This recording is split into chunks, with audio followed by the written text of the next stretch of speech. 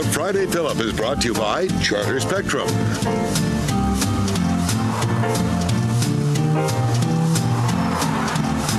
It's another Friday fill up here on This and That. If you're looking for delicious desserts, Southern hospitality, 175 year old recipes made from scratch entrees, look no further than the Cookie Jar Cafe in Dunlap, Tennessee.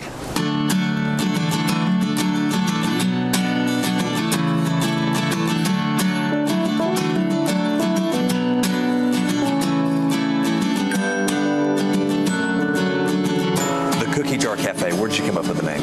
When we were building the building, my sister and I were swapping houses, and she had a small collection of cookie jars. She had about 150 then.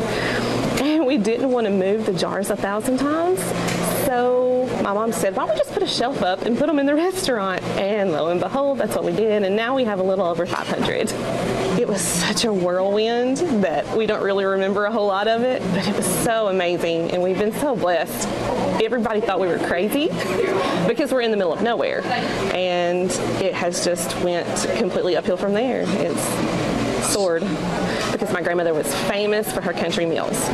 So instead of doing that, we decided that we would give what the community input was a try, and we opened a restaurant. None of us had any restaurant experience except for me, and I had served for like two years in a restaurant in Brentwood, and that's about it. So we had to just go by our instincts of family cooking and Southern hospitality and go from there. Your mama, some of the some of her favorite recipes that she's so famous for. Tell us about those. One is our baked chicken. We serve it every Tuesday here. We take a chicken breast and we dip it in butter and roll it in cracker crumbs. It's actually the simplest thing ever, but it's so good, and we sell out every Tuesday. Another one is our chicken casserole, and it became so popular because it's like a chicken and dressing that we actually serve it two days. We serve it on Fridays and Sundays. All right. Your customers that's been coming here for years, the number one dish, what is it? Grilled meatloaf. Tell us about the grilled meatloaf. It actually happened on accident. We have a meatloaf recipe that we've always used. Well, when we first opened, we were baking it in actual loaves, and we had some left. So we don't waste anything here. We have absolutely no food waste whatsoever. So what we did is we started slicing it and warming it back up on the grill. And our customers went crazy. It was absolutely amazing. And so it has stuck ever since then. So we actually put it on the menu. Most everything we make here is homemade. We make our own sourdough rolls, our own cornbread that we serve with every meal. Um, chicken livers is another very popular dish. We hand batter everything here. Um, I said, all of our vegetables are made from scratch. We even cook the beans from like dried pinto beans and dried white beans. Um, my favorite dish would probably be potato patties, and we make them every once in a while. And she takes leftover mashed potatoes and adds all kind of spices and chives and stuff to them, and then fries them in grease, and it's the best thing ever.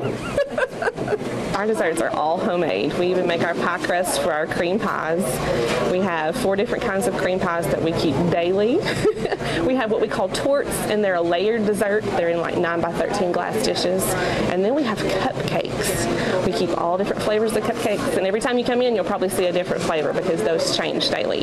And we also keep three layer cakes on hand. We do have a petting zoo. We have all kinds of domestic farm animals. We've got goats and chickens, pigs, a mule. So we have play equipment. So it just gives the kids something to do while they're having to wait or an incentive to eat their vegetables so they can go play after they're done. But it's just so relaxing and it's just a whole nother world over here across the mountain. I love sitting down and, and chit chatting with uh, Sue Ann. I, I love her laugh too. Love her fried chicken. Mm, yeah, cookie jar. Uh, What it is just what a 25 minute drive uh, from Chattanooga, 1887 Kelly Cross Road in Dunlap, Tennessee. The Cookie Jar Cafe.com. Over 500 cookie jars in that restaurant. Unbelievable.